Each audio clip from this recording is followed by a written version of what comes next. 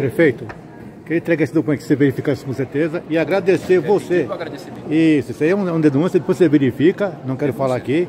Tá? Eu quero agradecer você pelas UPAs que vai ser feita em São Mateus, você já, já conversamos sobre ela, mas pela obra do, do Conquista 2, que vai ser inaugurado em breve, pela obra do, do Parque das Flores, que está em andamento, e pela. A gente, você deve inaugurar em breve o Tietê 2 e o C3. Você está falando em dengue aqui, a gente está acompanhando, mas o fato é, eu estou muito feliz com o seu governo, tá? Independente de político ou não, tá? E gostaria que você mandasse um, abraço. E quero, quero falar também o Recanto Verde do Sol. Foi feito lá a, a do Palanque, está pronta, só pode sinalizar. Está pronto a Pedro Ramazani, tá? A quadra, nós estamos acabando. E eu queria que você falasse sobre a Rua de São Paulo e a Rua dos Amigos. São Paulo tá, vai, vai licitar, uhum. uma obra grande, 4 milhões e 200, tem drenagem, tem via, sarjeta. Uhum mas é uma transformação que nós estamos fazendo na cidade. São 1.800 obras acontecendo hoje, a maioria na periferia. Nossa.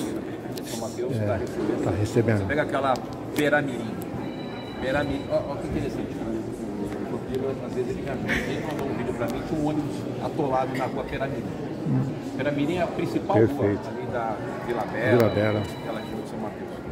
O ônibus ficou 24 horas atolado. Eu não tinha ideia dessa hum. Aí hoje, como é que tá lá?